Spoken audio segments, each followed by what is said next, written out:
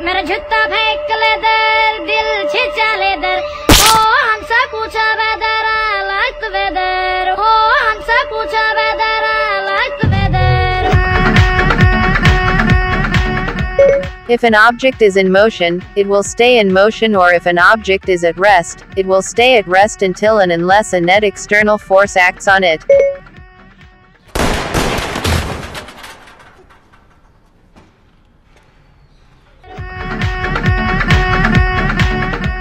Newton's second law states that the force acting on an object is equal to the mass of that object times its acceleration.